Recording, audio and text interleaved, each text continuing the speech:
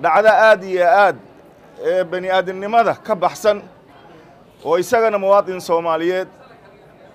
oo afartan iyo shan jir ah oo laba iyo toban carruur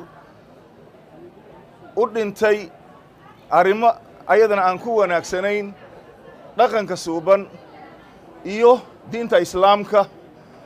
oo ay ka abuurantay xaalad dadka soomaaliyeed oo dhan dhegahooda markii ayada ay ku dhacday ee aan aad ma aragtay loo jeclaysan. Taasina iyadana ay noqotay dhacdo in la gubo gabar iyo wiil ayaga rabitaankooda isku guursaday waalidkii gabadha dhalayne sidii dhaqanka soomaaliyeed ee suubanaa ee ayaga ay u mareen oo ayaga isu oggolaadeen in dhinaca kale in soo farageliyo dhacdadaasina ay dhacdo oo murugo ay reebtay kadib markii marxuumka geeriyooday la gubay la baangadeeyey waxa mataraash loo yaqaano ama bahalka kalluunka lagu mudo xataa loo adeegsaday maydkiisane isagana laga qaaday asagoo waxa uu u dhintay baadil iyo dulmi ay tahay iyo wiilkaa iyo gabadhaa isguursaday oo aan maanta meel soomaaliya ay kaga qoran tahay dastuurkeeda haybsoc wax la yidhaahdo aanan jirin ee dadka soomaaliyeed iyo ilaahaybo agtiisa ee ay ka xariman tahay oo loo aanaynayo iyadana. Dhacdadii saddexaad gabar soomaaliyeed oo jaamacad dhiganayso oo fadhida galaaskeedii ayaa iyadana barqacad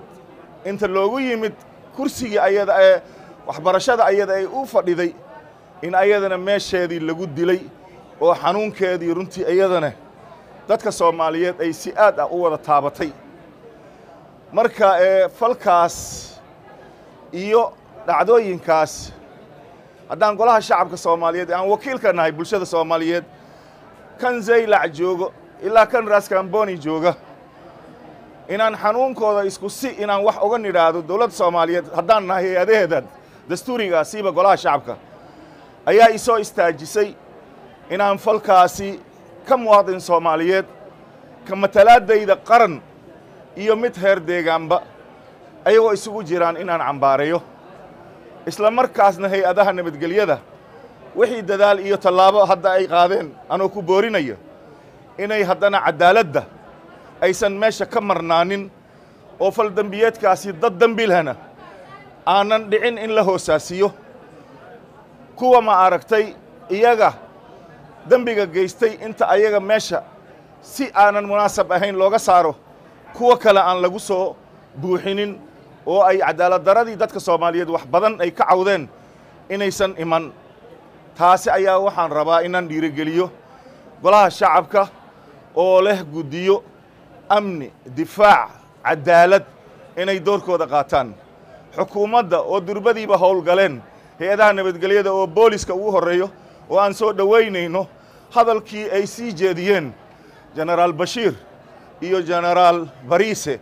oo intaba ka turjumaya in falkaasi dowladda soomaaliyeed ayaan ka aamusinaya hay'adaha nabadgelyada ay daba taagan yihiin in la soo dhammaystiro wixii dhibaatadaa geystay. Say darsi ugu noqoto ummadda soomaaliyeedna aysan ola kulmin dhacdooyinka foosha xun ee noocan oo kale oo hadday caadaystaan dadka dembiilayaasha ah kuwa kale ay galaafan doonaan taasi ayaa dadka soomaaliyeed ee ka xanuunsadayna aan doonayaa ayagoonan kala soc lahayn kala saar lahayn sida soomaalinimada iyo muslimnimada ay uga wada damqadeen ee arrintan uga soo jawaabeen gaar ahaan baraha bulshada. Bahda miidiyaha haddana waxaan sii rajaynaynaa inaad halkiina aad ka sii waddaan shacbiga soomaaliyeedna isaga ayaa heeriyada iska ridi kara ee dhibaatada taagan ee maalin walba isaga victimka u ah. Cidina aanan yacni iyaga keliya aanan isdhihin ayaa idin maqan ee ayaga ay noqdaan. Kuwa isu damqada isu naxa hal cadowna wada yeesha kaana ah kan nabadgelyadooda iyo jiritaankooda iyo wada noolaanshahooda sharafta leh. Yacni ku ah duulaanka. Cid kastaba hay maaragtay ha ka socdo ama meel walbo. Aanna iska dhigno caatifadda ee dadka soomaaliyeed lagu kala qaybinayo ee qabyaaladda ah. Ee mar weliba aan aragno wejiye fara badan in la doonayo in loo adeegsado si ummaddan layskaga hor keenno